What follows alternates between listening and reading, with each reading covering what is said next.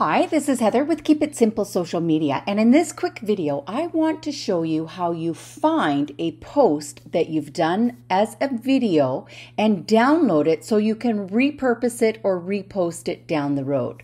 So, for example, if I scroll through my feed and I find a video that I think that I want to use and repost it again because it takes a lot of work and time to produce videos and you go out of your way and you put them on your social media and then that's it.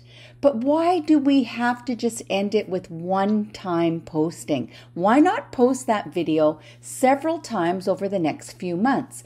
And sometimes what we do is we delete those videos because they take up a lot of space on our computers or on our cell phones. So we delete them and then we don't have them any longer. So here we have a video that we did a few weeks ago.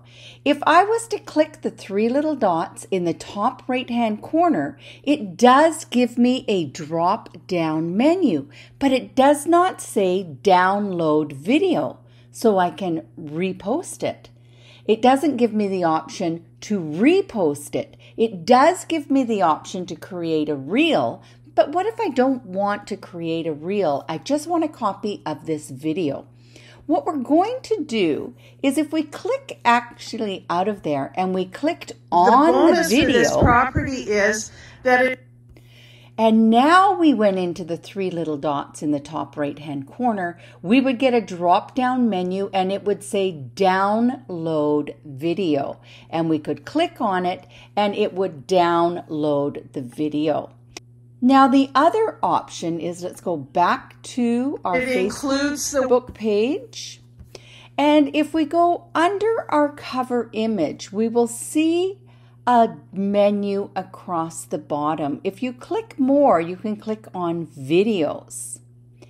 It is in here that you can scroll through all the videos that you've ever done to find that special video that perhaps you want to repurpose and put back out. And as example, let's do this throwback one. Let's click on it.